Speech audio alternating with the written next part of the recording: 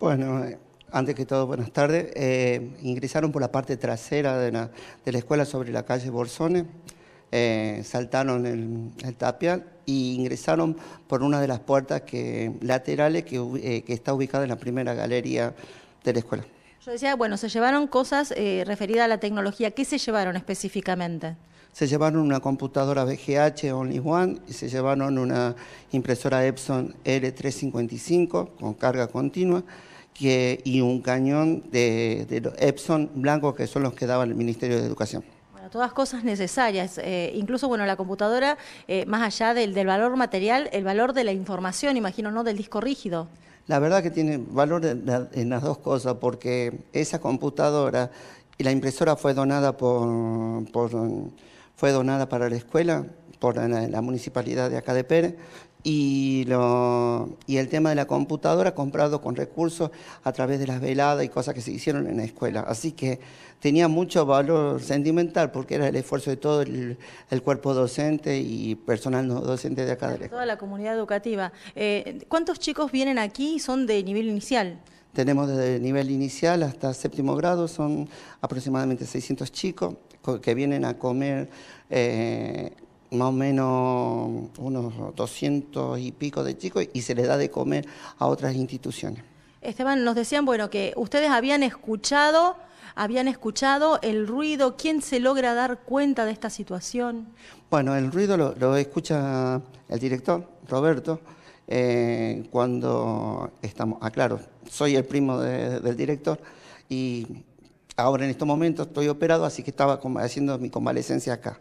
Y cuando fue más o menos en, en el horario entre las 5, cinco y media, eh, 6 y cuarto de la mañana, cuando sentimos ruido que como de algo que se, se había caído. Y cuando eh, después sentimos un ruido más fuerte y cuando bajamos nos encontramos con la, con la escena dantesca de- del vidrio roto que lo habían hecho con un, con un busto que, de Mitre, que, mm, que era una- un busto antiguo. Esteban, bueno, te, te siento con, con la voz ahí sí quebrada. Sí, la verdad Eh, fue doloroso ver todo eso, digo, por el esfuerzo que ha significado para ustedes y para toda la comunidad educativa.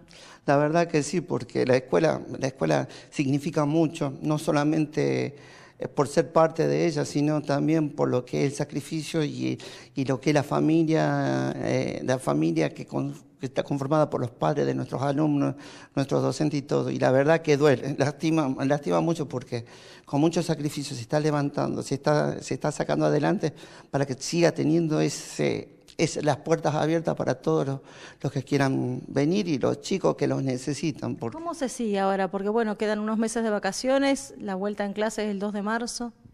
seguimos adelante, siempre con la actitud positiva, somos resilientes.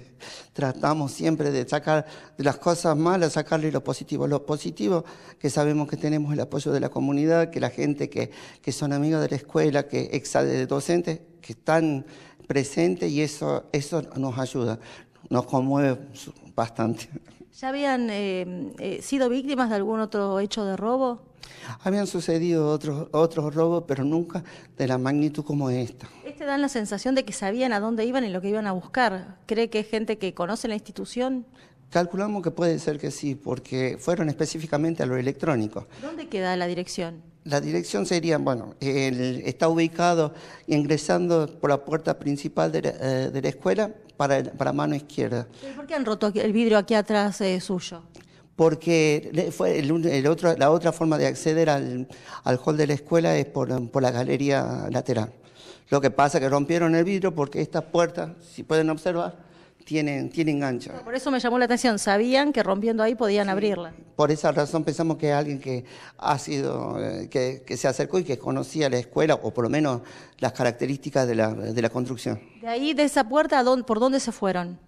Volvieron a salir por la misma puerta. Salieron por acá, salieron de la vice dirección, entraron, salieron por la puerta y saltaron el, el tapial por el parrillero. Bien, Esteban, vamos a ver, vengan chicos, vamos a seguir eh, con la cámara hasta el lugar por donde entraron y por donde salieron más allá de romper el vidrio. Eh, ¿Dónde sería específicamente? Porque bueno, decíamos, ¿no? Analía Ciro es gente que efectivamente debe conocer la construcción porque ingresaron a ver por dónde, por esta puerta. Por esta puerta. Como podrán observar, son, son puertas de, de bastante tiempo no tiene rejas, eso le ha facilitado. todo, porque nunca pasaron este tipo de situaciones, o sea, no, cosas chicas, por ejemplo, que se hayan, que hayan sacado juegos como pelota, cosas de material de educación física, pero, no así. nunca tanto como esta situación. Esteban, y vamos a caminar hacia el lado, chicos, de por dónde se escaparon, porque no es nada sencillo salir de este lugar digamos, de este, de este establecimiento, porque son altos los tapiales, incluso dan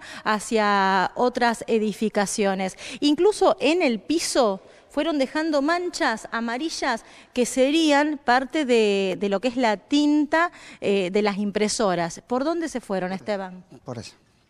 Saltaron, subieron el... Acá por el parrillero. Por el parrillero subieron, donde están, inclusive ese, ese eh, ladrillón lo usaron como peldaño para y dieron a la calle. Y dieron para la calle. Lo que encontramos que cuando rompieron, eh, entraron, ingresaron a la, a la dirección, eh, sacaron todas las llaves que estaban en el tablero e intentaron abrir la puerta de adelante con, con una de las llaves que no era. Así que quedó la dejaron trabada la puerta. ¿Y el resto de las llaves se las quedaron ellos? el resto de las llaves cuando vino el, personal policía con a, ver, eh, la encontraron acá que la habían dejado sobre el parrillero.